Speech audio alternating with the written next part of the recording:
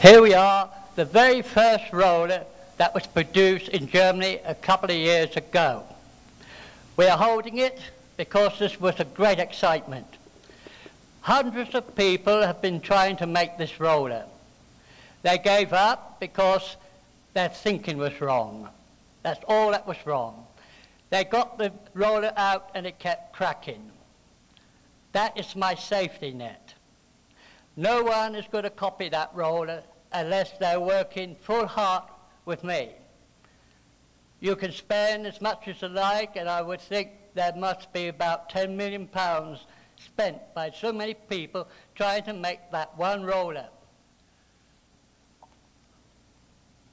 This is the uh, magnetizing equipment. Here we are just making test models so we don't need a very big machine. Again, you see another view. If you notice, there is a number of coils involved. This again is slightly different to normal practice. Another view of the coils.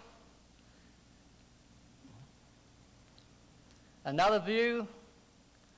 So anyone wishing to make the, these rollers realize you've got to have a bit of patience, and I mean patience, and don't give up. Now, you may say, why can't you make it? Well, let's put it this way. If you make a house brick, you've got to buy the ovens and all the necessary equipment to make that one brick. That costs you a fortune. That's the same here. To make one roller, you may be looking at 12 million pounds. So you've got to make millions of them. Because after the first one, they cost very little to make. That first one is the bug. Here is the magnetic field around the first segments produced in Germany. By the way, these pictures are in the books. So those who, who want to study them more closely can do so. Now, here is the illustration of the SEG build-up. Can we show the plates uh, with the pointer, please? You notice that is what we call the plate in which the rollers run on. That's what we call the roller, and these have to be slightly shorter than the plate, so they have free movement.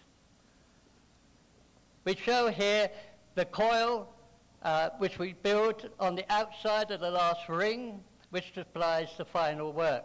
The only difference between this machine and the conventional machine is that this is the prime mover. The coils is standard practice. Notice we've shown four colors. That represents the, the different layers of elements which are compressed to form the plate. The same must apply to the rollers. The weight of, or the volume of the plate must be equal to the weight or volume, whichever you like to say, of the roller. Therefore, each roller in itself is a generator of its own.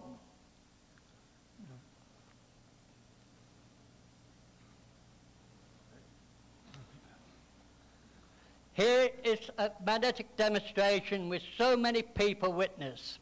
There are letters in the books of people from Australia who saw this demonstration. This particular one is from the report of Gunnar Sandberg of Sussex University. Unfortunate, he gives you a slight wrong explanation. He says when you place the roller at the edge, it accelerates to its cruising speed. He could not tell you at instant go to the cruising speeds. The other people tell you in their report it goes instant to the cruising speed. Why should Gunnar Sandberg say it accelerates? The reason is this. He works in the electrical department of Sussex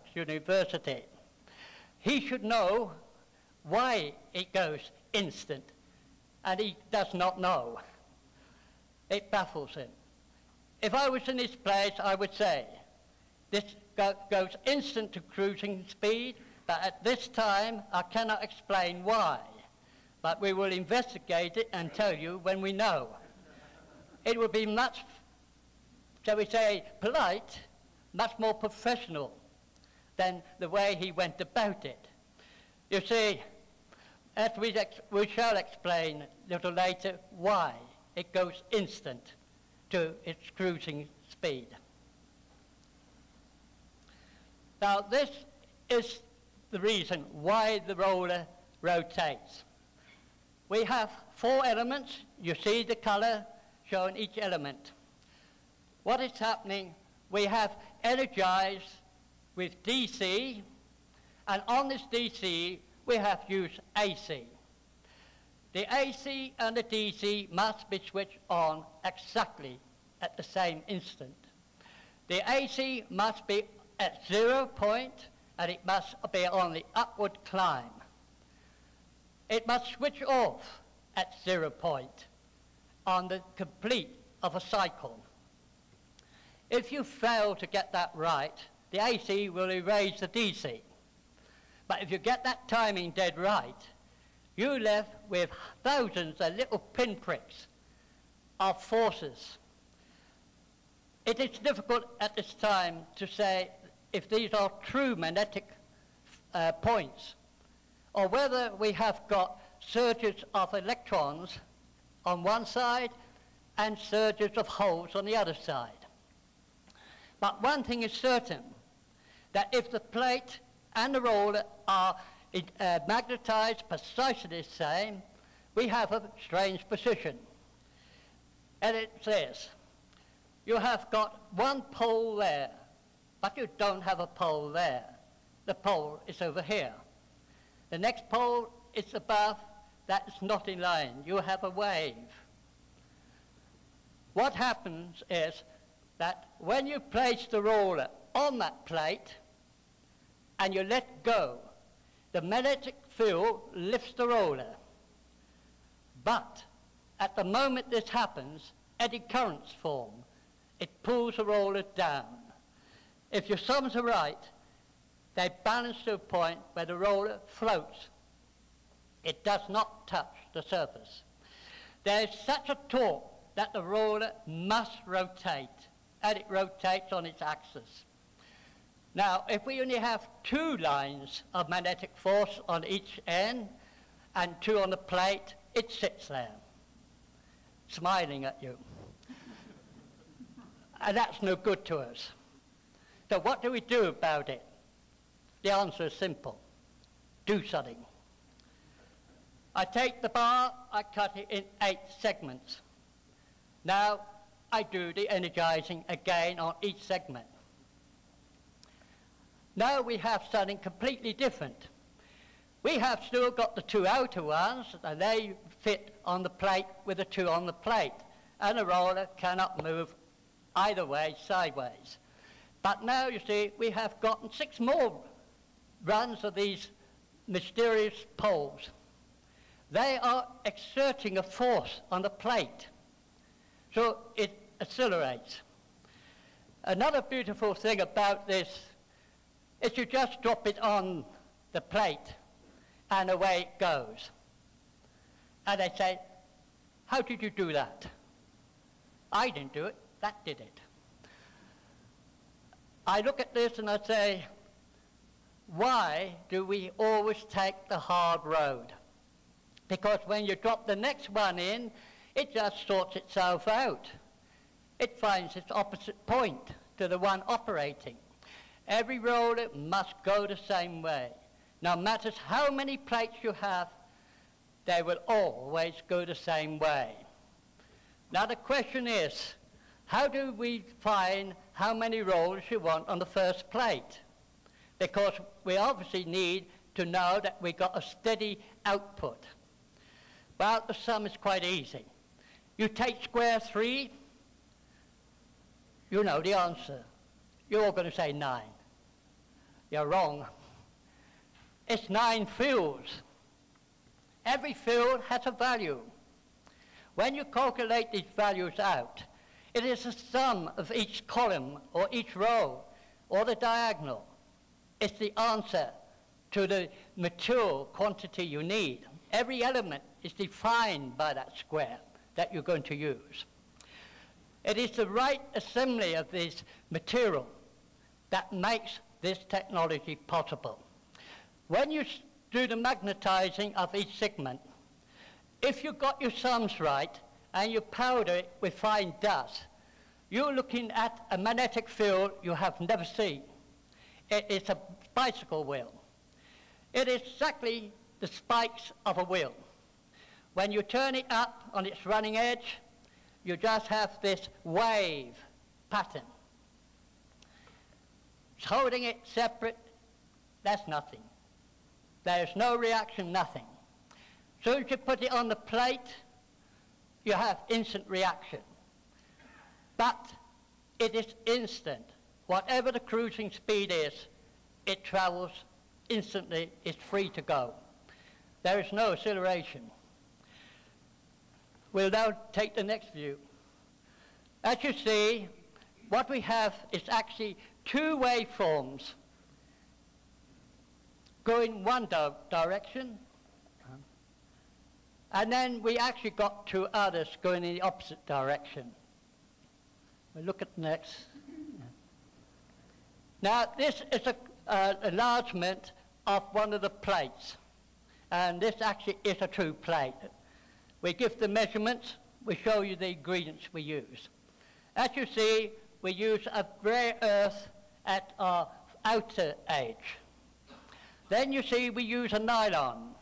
And I like to say why I fancy nylon. We can use plastics, but in Germany we see, when I look at the finished thing, that the, nylon, uh, the plastic looks terrible crude. It looks hard, it looks brittle, and we believe that nylon gives a better finish. It's, it's an insulant, uh, insulator, it has a double gate. But there are three classes of nylon 66. That's what we call a positive charge. This is where the manufacturer takes away electron from each molecule. You can have a neutral, which is the standard one. Then you can have a negative charge. This is where they add an extra electron to each molecule. And it's the negative one I use.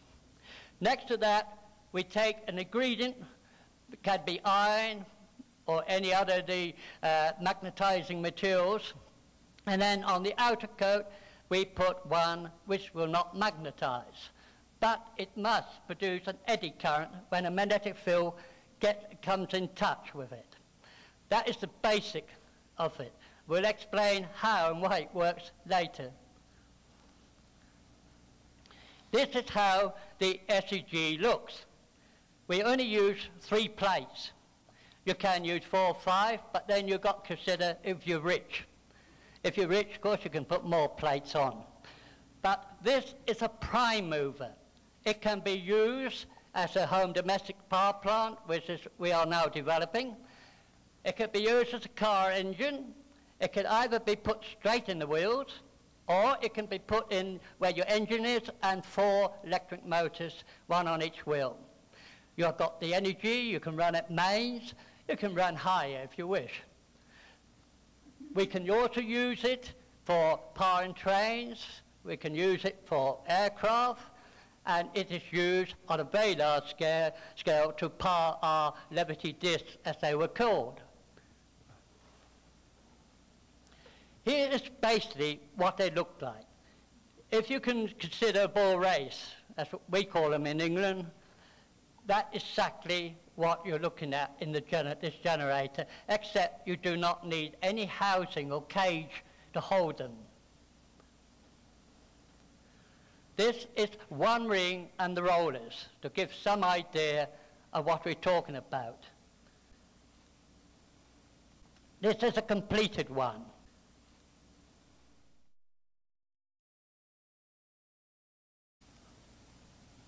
This is the uh, magnetizing equipment. Here we are just making test models so we don't need a very big machine. Again, you see another view. If you notice, there is a number of coils involved. This again is slightly different. They got the roller out and it kept cracking. That is my safety net. No one is going to copy that roller uh, unless they're working full heart with me. You can spend as much as you like, and I would think there must be about 10 million pounds spent by so many people trying to make that one roller. Now, you may say, why can't you make it? Well, let's put it this way.